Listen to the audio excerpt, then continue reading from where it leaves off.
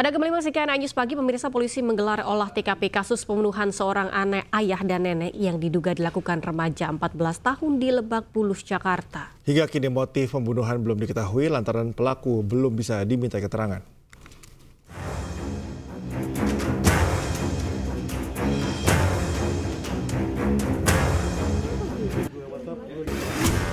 Polisi menggelar olah tempat kejadian perkara kasus remaja berusia 14 tahun yang membunuh ayah dan neneknya di Lebak Bulus, Jakarta Selatan. Olah TKP digelar di kediaman mereka di perumahan Taman Bona Indah sekitar pukul 2 siang. Olah TKP digelar merupakan lanjutan dengan menurunkan tim Inavis. Polisi menyebut telah mengamankan sejumlah barang bukti dari lokasi. Sebanyak lima saksi juga sudah diperiksa, termasuk petugas keamanan komplek perumahan. Kendati demikian, polisi belum dapat membeberkan motif pelaku membunuh ayah dan neneknya. Polisi pun saat ini tengah memeriksa urin pelaku. Sekarang ini sudah diamankan, jadi lagi digali dan minta keterangan. Kenapa, mengapa kejadian terjadi. Ya untuk motif sementara masih digali karena memang anaknya masih diam. Sebelumnya warga perumahan Taman Bona Indah Cilandak, Jakarta Selatan dihebohkan dengan peristiwa pembunuhan yang diduga dilakukan oleh remaja di bawah umur. Dalam peristiwa ini dua orang tewas di lokasi kejadian. Dua jenazah korban yaitu ayah dan nenek pelaku ditemukan dalam kondisi bersimbah darah di ruang tamu rumah. Sementara ibu pelaku mengalami luka senjata tajam dan saat ini masih kritis di Rumah Sakit Fatmawati, Jakarta Selatan. Usai menusuk anggota keluarganya, pelaku melarikan diri hingga akhirnya ditangkap oleh petugas keamanan perumahan. Dari Jakarta, tim liputan iNews melaporkan. Pasca insiden pembunuhan ayah dan nenek yang dilakukan oleh anak usia 14 tahun, saat ini tempat kejadian perkara di perumahan Taman Bona Indah Cilandak, Jakarta sudah dipasangi garis polisi. Hingga kini belum diketahui apa motif pelaku di bawah umur ini tega membunuh ayah dan neneknya. Dan pemirsa berikut laporan Nata Arman bersama juru kamera Eri Nugraha. Pemirsa inilah suasana pada malam hari di lokasi TKP pembunuhan ayah kandung dan juga nenek dari uh, kasus yang terjadi pada dini hari pada hari Sabtu pukul 1 dini hari waktu Indonesia Barat. Tepatnya di alamat perumahan Taman Bona Indah Blok B6 nomor 12 Lebak Bulus Cilandak Jakarta Selatan yang mana pada uh, tadi sekitar pukul 2 siang dilakukan uh, olah TKP oleh pihak kepolisian dan juga saat ini sudah di pasangi garis polisi dan juga ada karangan bunga. Dan memang berdasarkan informasi yang kami peroleh bahwa sebelumnya uh, anak ini memang dikenal sama masyarakat luas ini atau sekitaran tetangga sebagai sosok anak yang baik kemudian juga sering uh, sholat ke masjid, kemudian juga ramah, sering menyapa seperti itu. Namun tidak diketahui secara pasti penyebabnya. Namun keterangan dari polisi sementara ini adalah bisikan gaib. Namun saat, ini juga masih dilakukan pendalaman lebih lanjut untuk mengetahui motif sebenarnya apakah yang terjadi. Kemudian insiden ini terjadi pada pukul 1 dini hari Sabtu, yang mana ketika uh, itu si pelaku yang merupakan anak usia 14 tahun ini dengan inisial MAS ini turun ke dapur untuk membawa pisau dapur kemudian melakukan penusukan kepada ayahnya yang sedang tertidur di lantai dua rumah. Kemudian ketika melakukan penusukan tersebut, ibu dari uh, sang pelaku tersebut bangun, kemudian dilakukan penusukan kembali, namun tidak uh, menyebabkan hingga meninggal dunia seperti ayahnya tersebut. Kemudian ketika turun ke bawah, nenek yang merupakan uh, tidur di lantai kamar di bawah ini bangun kemudian keluar mendengar keributan tersebut, kemudian ditusuk kembali dan setelah itu uh, ibunya ini berhasil keluar dari rumah dan uh, terbaring di depan halaman rumah ini. Kemudian sang pelaku akhirnya kabur dan membuang barang bukti pisau yang digunakan untuk membunuh sekitar kurang lebih 60 meter dari titik rumah pelaku ke lokasi tersebut. Kemudian pihak keamanan dan atau security akhirnya berhasil menangkap dan diserahkan ke pihak kepolisian. Kemudian sebagai informasi tambahan bahwa untuk uh, luka yang dialami dari ketiga korban. Pertama dari ayahnya ini luka tusuk di bagian leher, kemudian di punggung dan di tangan. Sementara untuk dari ibunya luka tusuk di di bagian pipi, di punggung dan juga di tangan. Kemudian juga neneknya hampir sama. Kemudian untuk ibunya sendiri yang berhasil selamat ini mengalami kondisi yang sangat kritis dan tentunya saat ini sedang melakukan perjalanan uh, dilakukan perawatan secara intensif di Rumah Sakit Fatmawati. Sementara untuk korban meninggal dunia yang merupakan ayah dan juga neneknya ini sudah dimakamkan dan sebelumnya dibawa ke Rumah Sakit Polri. Sementara dari Jakarta, Nata Arman, Eri Nugraha News melaporkan. Ya pemirsa hingga kini pelaku belum bisa dimintai keterangan karena masih terus terdiam dan kerap menangis. Sementara itu berdasarkan keterangan saksi, pelaku dikenal ramah dan tidak menunjukkan perilaku aneh. Dan pemirsa berikut cuplikan wawancara dengan Kasih Humas Polres Jakarta Selatan, AKP Nurma Dewi dalam program iNews Sore.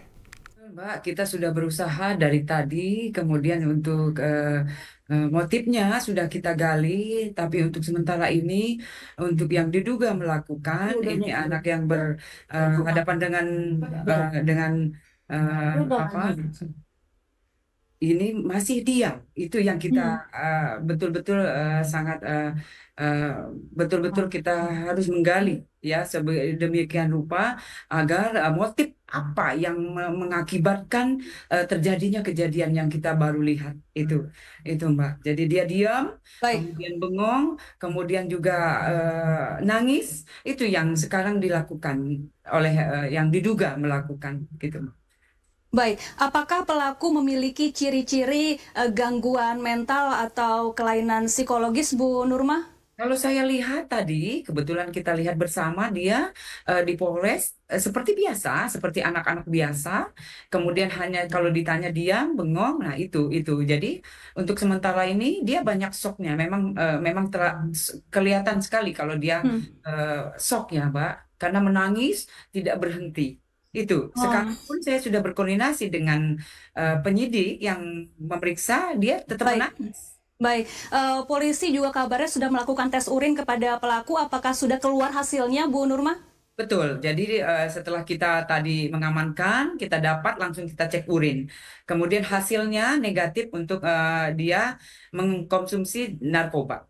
Jadi dia negatif. Bagaimana keseharian pelaku di sekolah dan juga kesehariannya di dalam keluarga maupun lingkungan sekitarnya, Bu Nurma? Apakah sudah ada keterangan terkait hal ini? Ya dari uh, keterangan dari terutama security tadi uh, juga uh, anak ini seperti biasa anaknya layak SMA. Hmm. Jadi kalau misalnya dia pulang sekolah terus pergi itu terus kalau di di apa di sapa pun dia menjawab itu. Hmm. Ya seperti biasa Mbak. Jadi memang anaknya juga ramah, tidak terlalu uh, itu itu itu yang keterangan yang kita dapat sementara Mbak. Baik, apakah sebelumnya pelaku diketahui mempunyai konflik dengan keluarganya? Sejauh ini belum Ya, konflik yang sudah lama terjadi di dalam keluarga sangat mungkin mendorong aksi nekat remaja 14 tahun di Cilandak, Jakarta Selatan yang menghabisi nyawa ayah dan neneknya. Pola pengasuhan lingkungan dan juga media juga menjadi sejumlah faktor yang dapat memicu anak melakukan tindak kekerasan.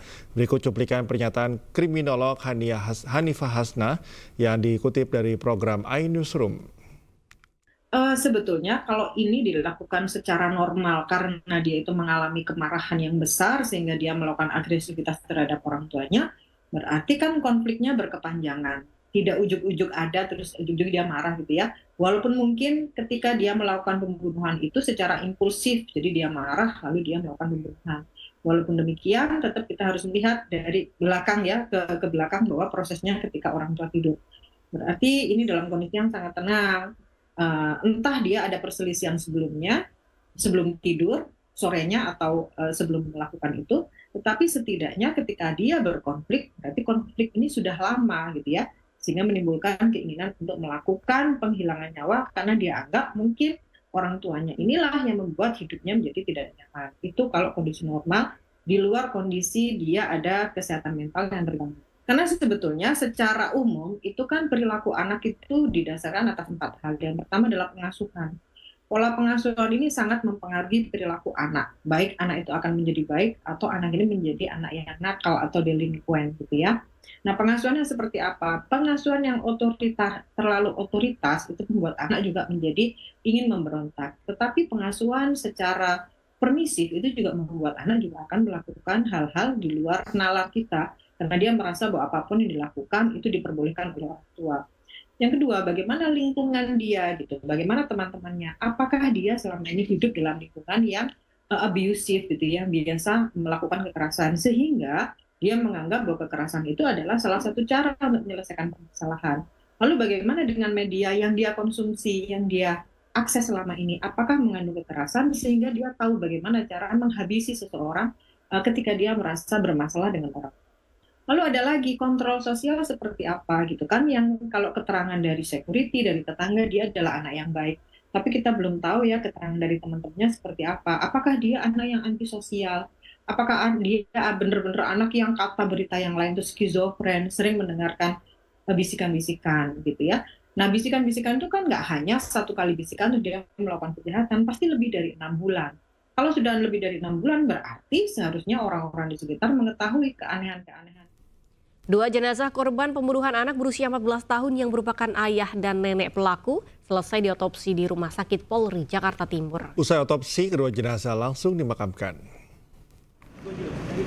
Proses otopsi kedua jenazah telah selesai dijalankan di Rumah Sakit Polri, Jakarta Timur pada Sabtu siang. Usai proses otopsi, kedua jenazah langsung dimakamkan oleh pihak keluarga.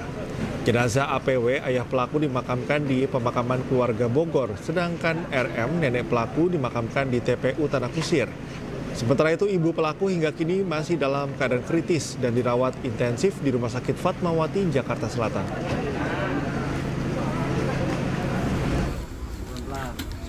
Ruth Megawati, korban tewas dari aksi brutal sang cucu, dimakamkan di TPU Tanah Kusir, Jakarta Selatan pada Sabtu sore. Almarhumah yang berusia 69 tahun ini dimakamkan satu liang lahat dengan sang suami. Sejumlah sahabat dan tetangga yang mengenal almarhumah hadir untuk melepas ke tempat peristirahatan terakhirnya.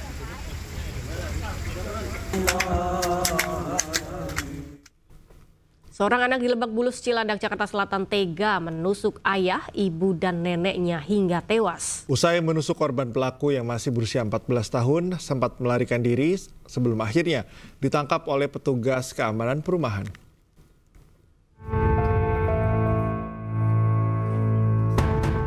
Seorang anak di Lebak Bulus, Cilandak, Jakarta Selatan yang masih berusia 14 tahun nekat menusuk ayah, ibu, dan neneknya Sang ibu berhasil selamat dengan luka senjata tajam usai melarikan diri keluar rumah, sementara sang ayah dan nenek tewas usai ditusuk pelaku. Setelah melakukan aksinya, pelaku langsung melarikan diri hingga keluar area perumahan. Pelaku pun berhasil ditangkap oleh para petugas keamanan perumahan setelah lari sejauh 500 meter dari lokasi kejadian. Kita dapat kabar di dari rekan katanya ada penusukan. Nah, saya kontak balik, uh, itu penusukan di mana? Di Bandung 5 51 posisinya. Korban. Lanjut saya kontak lagi. Teman nimpah tersangkanya keluar katanya pelakunya. Saya inisiatif. Karena di sini teman udah ngamanin saya keluar ngejar sama teman saya satu. Ketangkeplah di sebelum lampu merah Karang Tengah sini. Itu saya bawa ke komando sini pos RW uh, saya tanya dia kamu rumahnya di mana awalnya dia ngomongnya di ban di B617 pas kita desek-desek B612 nah ada teman saya datang ternyata itu cucunya uh, korban, rumah. korban yang punya rumah gitu. Awal awalnya kata dia apa ya? Cuman apa? Kamu yang nusuk. Iya nusuk. Kita belum tahu kalau itu ada korban di dalam ya ada yang meninggal. Nah teman cek lagi wah ternyata ada korban meninggal dua di dalam Kini pelaku sudah diserahkan ke pihak polisian Polsek Cilandak, Jakarta Selatan.